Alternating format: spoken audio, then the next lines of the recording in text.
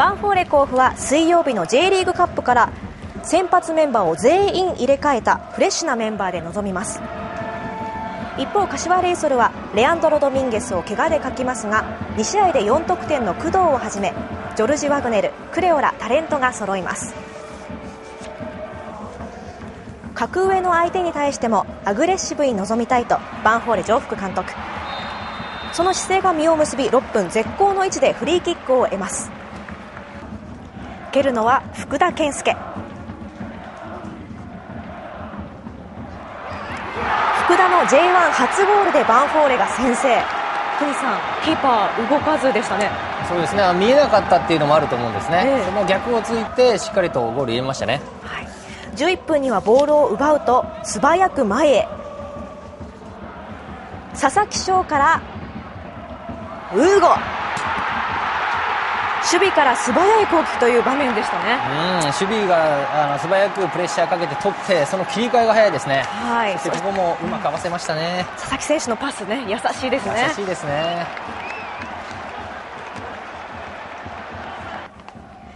序盤で2点をリードしたバンフォーレですが21分レイソル藤田にクロスを上げられるとなんとこれがオウンゴール。まさかの失点で1点差とされます。それでも浮き足立たないバンフォーレ。ベテランの土屋を中心にディフェンス陣が冷静に攻撃の目をつむと。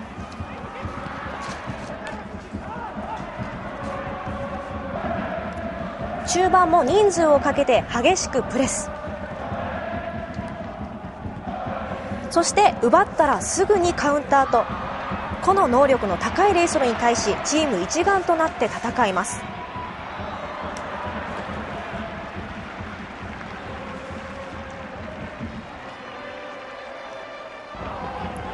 後半は前線を厚くしたレイソルに押し込まれます。再三にわたり工藤に決定機を与えますがギリギリのところでゴールは許しません。ピンチをしのいで迎えた32分。前がかりになっていたレイソルの隙を突きます。裏に走り込んだ柏義文がクロス。最後は土屋。福西さん、土屋選手2試合連続のゴールです。いや素晴らしいですね。残ってるところそしてこう決めきる力。こう引っ張ってますよ守備でも引っ張ってるしね。攻撃で得点取ってるし。頑張ってますよベテランが。ね気合入ってますねいいヘディングシュートですよ、叩きつけてキーパー取れないですからね。バンフォーレはこれがホーム初勝利、今シーズン初の連勝です。